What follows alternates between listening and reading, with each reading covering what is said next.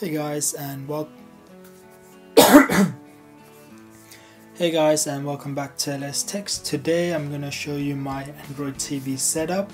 I'm currently using the A-Box A3 as my Android TV box. If you haven't watched my review on that, please check out the link in the description. So I'm currently using this app called TV Launcher which is pretty nice. This is what I'm currently using. It's very simple, very elegant. So at the top we've got a menu button. Got your favorites and then you can change these. So I've got media games and utilities. So I'm my favorite I've got my Kodi because it's probably what I use the most. And I'm a Kodi. I'm currently using Spinz TV if you haven't watched my video on Spinz TV I'll leave a link in the description. It's uh, it's my favorite um, bowl for Kodi currently now. It's got all the things you want your movies, your TV shows, your toddler, kids shows and everything is here. So it's really nice. And another one I use as well sometimes, if I come back, it's Showbox. They do get some movies as well, some don't come on Spanish TV one, so they come here, which is really nice. So if I go in here, I can get to my, go sideways, I can get to movies and I can get to all my TV movies here which is pretty nice. So that's really great. Always have that on the side. Next one is YouTube. Well everyone knows YouTube. And I got my Play Store. Play Store. And on the media I've got Kodi, my Netflix, Showbox and all the YouTube, Now TV and some my media player if I'm playing something from the USB if I want to play some 4K content. And further on I got my games so I got a few games here. And the utilities I got my speed test, my benchmark, my Google Home and my settings. These settings are for the TV box itself. So if I go in here I can get to all my settings which is really great. I come back here and go up got my clock. If I click on that I can get to my clock put timer on, set alarms if you want to, which is really nice. And then this is my dock, so that gets all all the apps installed. So if I want to use something I don't use that much often, I can come in here and get that. And if I go into the menu for the TV icon, well for the TV launcher, I can come in here, manage my section. So if I want to add more ones or delete my favorites or media I can do that. Coming into media I can change the color of them the position if I want that to be first or last. The icon of that which is nice. And I can change the theme of the settings so if I want it to be dark or light as you can see I prefer light.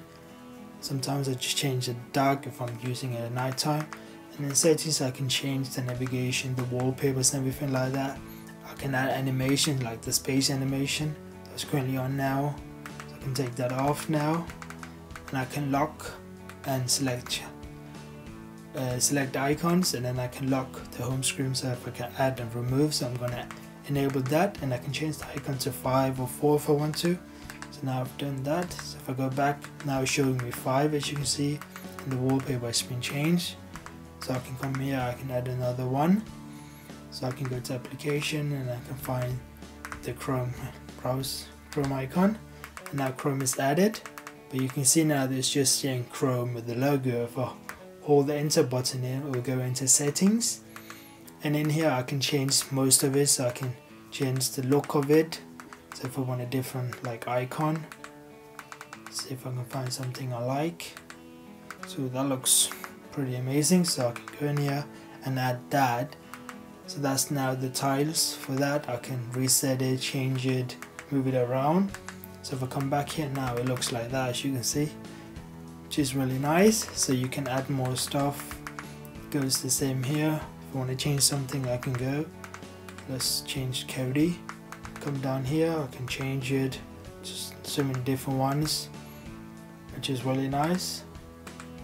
So yeah guys that's how I keep mine. It's very simple you don't have a lot of things going around you just got your things you want to use which is simple and nice for you guys.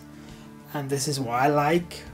Like the previous one like if I go here to the media box as you can see it's all just put on the home screen. You got your big icons.